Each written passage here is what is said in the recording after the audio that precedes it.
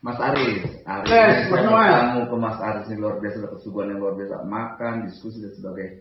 Mas Aris, ini ngadepin Pilpres 2024, Hmm. kan banyak para kandidat, mayoritas kandidatnya itu ternyata orang yang pernah dibesarkan Pak Prabowo dari Pak Jokowi, Iya.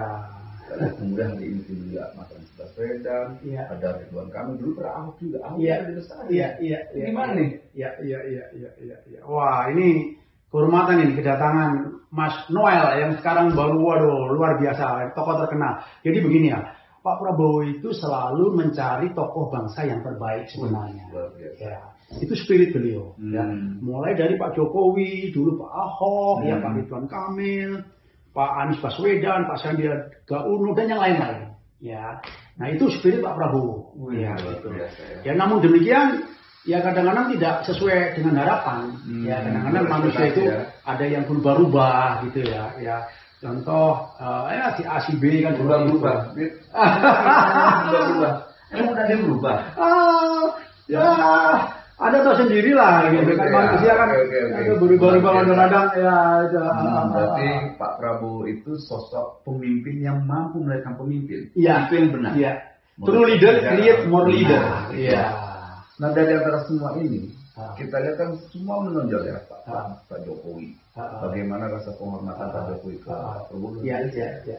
kemudian Pak Ahok juga pernah apa Hmm. dia bangga juga dengan Pak eh, Prabowo kemudian.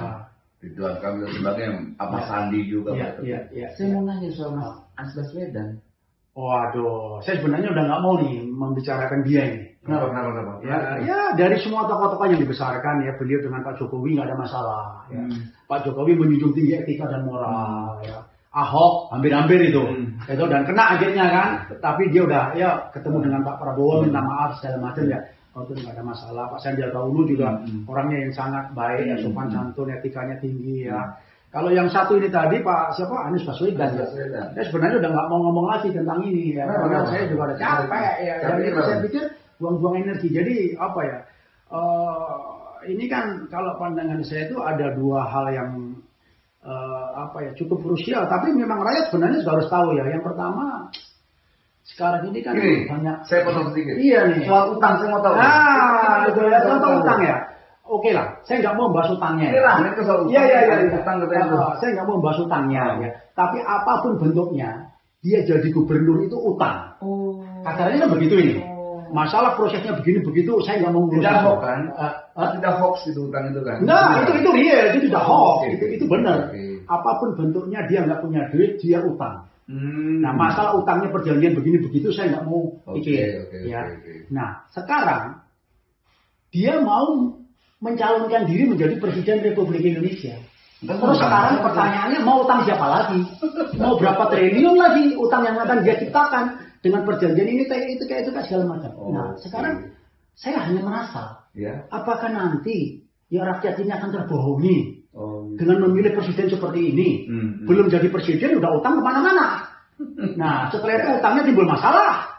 Iya, nah, iya, apakah kita iya. mau ya? Itu itu itu itu itu yang pertama, itu Hmm. yang saya pikirkan saja ya Siap. di benak saya. Yang kedua, ada faktor moral ya, yang waktu itu saya mengerti persis proses perjuangan itu ya. Itu dia tidak punya apa-apa, bukan siapa-siapa, dibesarkan Pak Prabowo, ya toh, diberikan kedudukan, kehormatan menjadi gubernur, ya toh, DKI. Iya. Setelah selesai, pamit aja tidak, Oh, sebegitunya. permisi aja tidak, Hmm. atau silaturahmi deh, Oh. atau apa kek mengucapkan Iya, terima iya, kasih. iya. Nah sekarang hati saya ini loh, kadang-kadang apakah kita rela Hmm. mempunyai pemimpin, apalagi presiden dengan karakter moral seperti ini? Itu, Hmm. itu jadi coba bayangin aja ada dua hal ini tadi masalah utang piutang udah lah ya. Ini saya nggak mau punya presiden yang terbeban dengan hutang Siap. ya. Yang kedua masalah moral.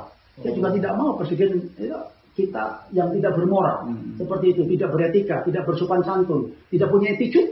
Hmm. Ini pribadi saya. Oke, ya, jadi eh, beban inilah yang apa kadang-kadang secara pribadi ih gemes ya. Hmm. Tapi ya mau tidak mau iya, untuk bangsa ini. juga buat pernyataan Mas Baswedan itu kalau saya Pak Prabowo nyapres, saya tidak akan nyapres. Itu gimana tuh Mas Aris? Mas, apakah ada Anda apa Pak, saya akan setia sama Anda hanya sampai tahun depan. Coba. Itu Kesetiaan itu kan sepanjang masa. Kan? Loyalty. Loyalty. Saya setia kepada agama saya. Ya sampai mati. Iya. Itu saya yakin Tuhan yang Maha Kuasa. Saya akan setia dengan itu Ya, ajaran itu. sampai Maha Kuasa. Jadi- Ya, sampai sampai mana ada saya akan loyal tidak itu eh, mencapres bila hanya sampai lima tahun 2019 segala macam. Tidak sebanding lurus dengan Pak Jokowi ya. Lah, iya. kalau menyampaikan Pak. Pak eh, Prabowo Betul, iya. nanti 2024 mungkin Iya, Pak Prabowo bisa jadi presiden. Kemudian Iya, kemarin iya. berkali-kali saya lihat ini kita butuh pemimpin kayak Pak Jokowi yang yang tahu etika. ya, Betul, Pak, Pak ya. Jokowi punya moral, punya etika, ya. punya jadi kadang-kadang saya gemes mas kalau ngomongin yang ini kata keterlaluan. Nggak, saya saya nggak ada urusan dengan partai ya, saya bukan orang partai, Ya. ya. saya nggak ada struktur di partai apa pun, dan saya bukan orang politik. opini ya, opini yang Tapi saya terlibat dari langsung. Oh, betul. Saya bukan opini, saya terlibat langsung waktu pilkada ini DKI. Mas Aris ini dalam proses penggubernuran Mas Aris Iya. terlibat langsung. Jadi beliau ya berkomentar itu karena memang didasarkan sebuah fakta. Betul, 2017 saya terlibat langsung, saya diperintah Pak Prabowo untuk mensukseskan itu Cek. di luar dari partai. Gitu ya. Oh, aduh, nanti lain waktu kita Ya. satu lagi lagi ya. Aduh, senang Ini sekali ini kedatangan. Luar biasa eh, saya diundang Noel makan ya, atas yang- diskusi. Jadi Ah. sekali lagi kita tidak butuh pemimpin yang tidak punya komitmen, tidak punya loyalitas, Iya. apalagi kalau integritasnya rendah. Saya rasa itu pesannya buat eh, kawan-kawan semua untuk 2024 mencari pemimpin yang punya totalitas, loyalitas dan integritas. Terima kasih. Ya, ya, ya. Salam perjuangan. Ya, ya, ya, Ya. ya, ya, ya, ya. 啊对对对。